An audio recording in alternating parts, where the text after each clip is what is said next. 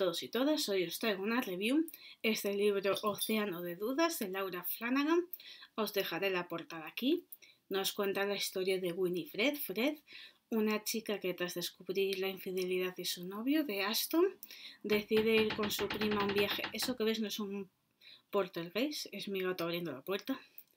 Pues eso es de Winifred, que tras descubrir una infidelidad por parte de su novio, de Aston, decide viajar con su prima, un viaje antes de empezar la universidad, a Australia. Ellas son de California.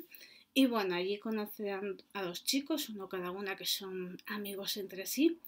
Y surgirá la chispa, pero ninguno de ellos se queda comprometer pero hay algo más, hay un sentimiento, pero todo se complicará ya que es bastante complicado, valga la redundancia.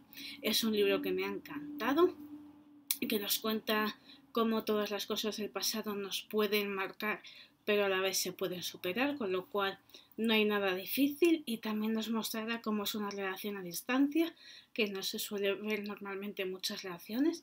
De hecho, yo le di cuatro estrellas de cinco ya que es un libro que me encantó, pese a que yo no suelo leer romántica, pero es un libro totalmente recomendable. Y bueno, hasta aquí la review. Como siempre, espero que os haya gustado, que le deis a me gusta, os suscribáis a mi canal y lo compartáis en todas vuestras redes sociales. Y muchísimas gracias por estar ahí.